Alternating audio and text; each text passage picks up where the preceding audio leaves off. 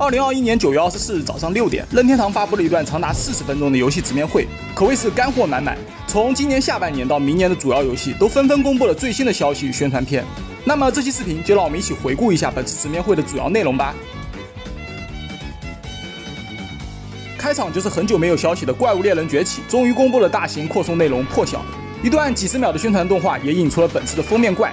全新的怪物与地图，想必又会给老猎人们带来全新的挑战吧。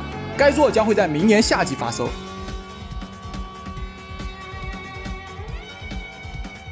之后登场的《三角战略》算是近几年来个人最期待的战棋游戏，采用虚幻引擎制作的 HD 2D 风格的画面，让老玩家们梦回像素游戏的黄金时代。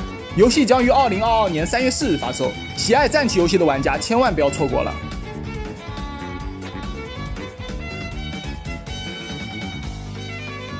任天堂迟迟不出《马里奥赛车9》怎么办？S.E 带来他们以《最终幻想》作为主题的卡丁车竞速游戏《陆行鸟赛车 GP》，因此你可以看到黑白魔导士、陆行鸟、召唤兽等 FF 中的经典元素。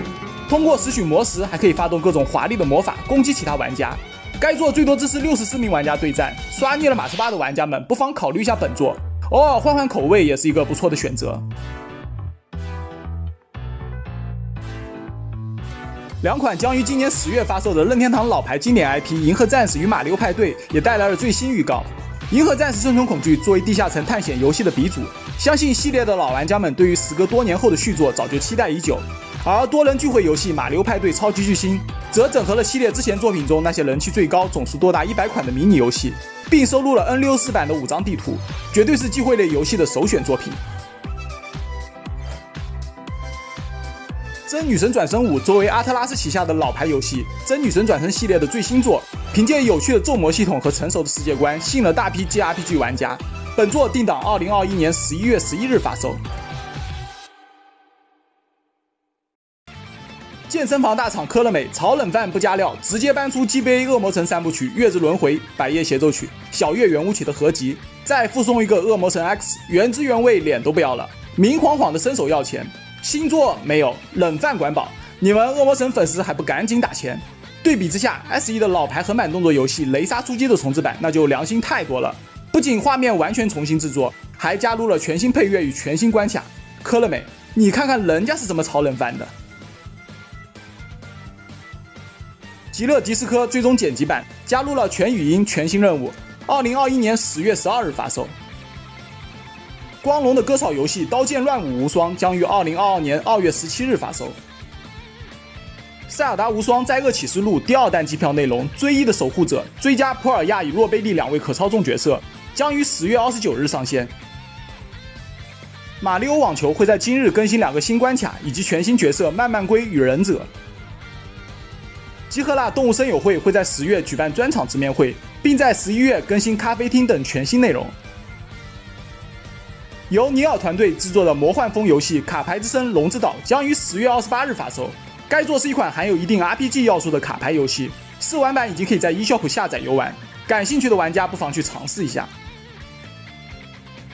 来自 Level Five 的新作《百万吨级武藏》公布了全新预告，游戏会在十一月十一日登陆 NS 平台。《消逝光芒》白金版将于十月十九日登陆 Switch 平台。而二代则会以云游戏的方式在二零二二年二月四日发售。包含众多迪士尼元素的《迪士尼魔法二》将于二零二一年十二月二日发售，《星球大战：旧共和国武士》将于今年十一月十一日发售。话说，该作的重置版不是前不久才公布了 PS 五版吗？这算不算变相狙击索尼呢？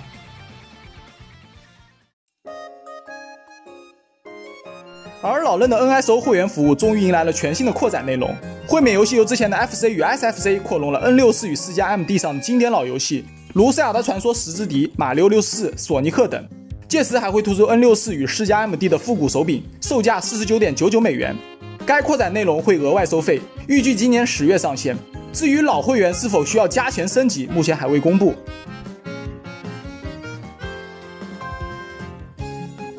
三 D 箱庭冒险游戏《星之卡比：遗忘之地》的公布，可谓是本次发布会的一大惊喜。一直以来以奥迪横版卷轴为主的《星之卡比》，也终于迎来了玩法上的大更新。任天堂教科书般的关卡设计功力，向来都是业界标杆。本作以废旧的都市作为主要舞台，绿树成荫，阳光沙滩。再加上卡比的附身功能与各种精妙的挑战收集，实在太像老任之家的《马里奥奥德赛》了。本作将于二零二二年春季发售，又是一款必买游戏啊！作为任天堂近年来最成功的原创 IP 之一，《斯普拉顿三》这次也公布了不少新内容。全新单人模式哺乳类回归，讲述已经灭绝了的哺乳类生物是如何重现陆地，并且前两作的经典角色也会在三代中悉数登场。而多人模式也增加了如爬墙、骑乘等全新要素。《斯普拉顿三》将是该系列首次支持官方中文。本作依据于二零二二年登陆 NS。